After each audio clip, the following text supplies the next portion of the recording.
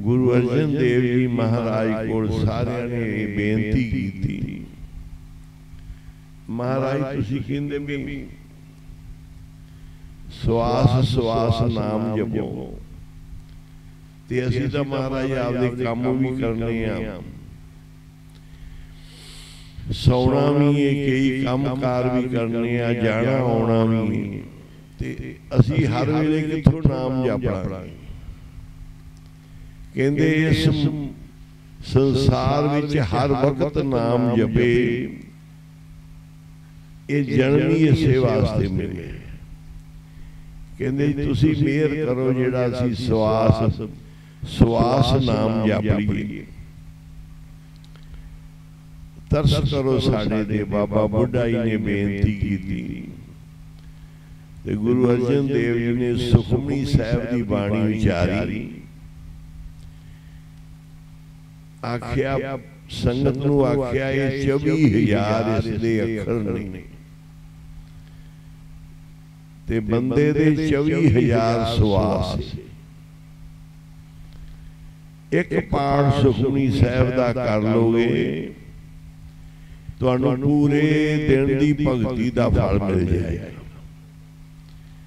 ਪੂਰੇ ਦਿਨ ਦੇ ਸੁੱਖ ਮਿਲ ਜਾਣਗੇ।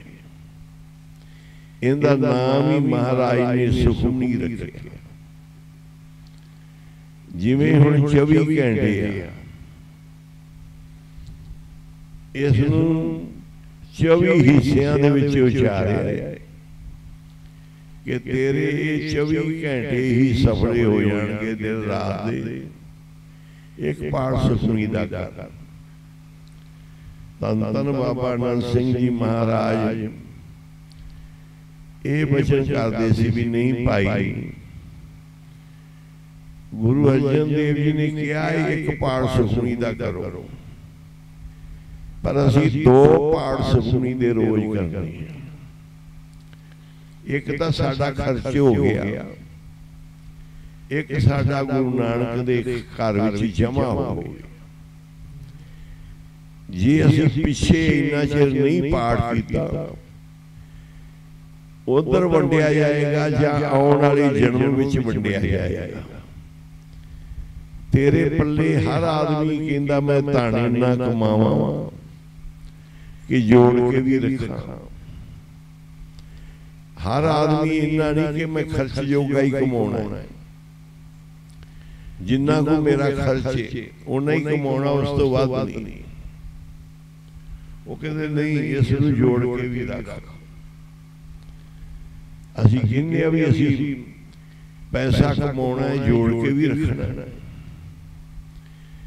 ਉਹਦਾ ਲਾਲਚ ਕਰਦੇ ਆ ਕਹਿੰਦੇ ਇਸ ਦਾ ਵੀ ਕਰ ਇਹ ਧਾਣਾ ਖੋਟ ਇਹ ਸੱਚਾ ਧਾਣਾ ਉਹ ਝੂਠਾ ਧਾਣਾ ਬਾਬਾ ਖੇਮ ਸਿੰਘ ਜੀ ਮਹਾਰਾਜ ਵੀ ਬਚਨ ਕਰਦੇ ਸੀ। ਕਿ ਦੋ ਪਾਠ ਸਾਹਿਬ ਦੇ ਰੋਜ਼ਾਨਾ ਕਰੋ। ਦੂਸਰਾ ਅੰਮ੍ਰਿਤ ਵੇਲਾ ਰੋਈ ਦਾ ਜ਼ਰੂਰੀ। ਹੈ ਕਿ ਅੰਮ੍ਰਿਤ ਵੇਲੇ ਇਸ਼ਨਾਨ ਕਰਕੇ ਭਗਤੀ ਕਰੋ। ਨਾਮ ਜਪੋ ਦਾ ਫਲ ਬਹੁਤ ਜ਼ਿਆਦਾ ਮਿਲਦਾ। ਸ਼ਾਮ ਨੂੰ ਰਹਿ ਰਾਸ ਵੇਲੇ ਜ਼ਰੂਰੀ। ਮੁਸਲਮਾਨਾਂ ਦੇ ਸੀ ਪੰਜ ਵਕਤ ਉਹਨਾਂ ਨੂੰ ਨਮਾਜ਼ ਜ਼ਰੂਰੀ। ਆਪਣੇ ਨਹੀਂ ਕਰਦੇ ਹਿੰਦੁਸਤਾਨ ਦੇ। ਪਰ ਅਰਬ ਕੰਟਰੀਆਂ ਵਿੱਚ ਜਿਹੜੇ ਪੱਕੇ ਮੁਸਲਮਾਨ ਨੇ। ਉਹ ਪੰਜ ਵਕਤ ਦੀ ਨਮਾਜ਼ ਕਰਦੇ ਆ। ਫਿਰ ਉਹ ਰੋਜੇ ਵੀ ਰੱਖਦੇ ਆ। ਫਿਰ ਉਹਨਾਂ ਨੇ ਤਸਵੀਰ ਵੀ ਫੇਰਨੀ ਇਹ ਇਸਲਾਮ ਧਰਮ ਦਾ ਹੈ ਮੁਸਲਮਾਨ ਧਰਮ ਦਾ। ਉਹਨਾਂ ਦੀ ਸਿੱਖਿਆ ਵੀ ਸਭ ਤੋਂ ਪਹਿਲੋਂ ਇਸਲਾਮ ਧਰਮ ਦਾ ਅਸੂਲ ਹੈ ਕਿ ਤੁਹਾਨੂੰ ਰੱਬ ਤੇ ਭਰੋਸਾ ਹੋਵੇ। ਉਸ ਮਾਲਕ ਤੇ ਭਰੋਸਾ ਕਰੋ ਜਿਨੇ ਤੁਹਾਨੂੰ ਪੈਦਾ ਕੀਤਾ ਹੈ ਭੇਜਿਆ ਹੈ ਜਨਮ ਦਿੱਤਾ ਹੈ। ਉਹਦੇ ਤੇ ਭਰੋਸਾ ਬਹੁਤ ਜ਼ਰੂਰੀ ਉਹ ਮੁਸਲਮਾਨ ਹੈ। ਜਿਹਨੂੰ ਖੁਦਾ ਦੇ ਭਰੋਸਾ ਹੈ। ਉਹ ਹੀ ਸਿੱਖ ਹੈ ਜਿਹਨੂੰ ਅਕਾਲ ਪੁਰਖ ਤੇ ਭਰੋਸਾ ਹੈ।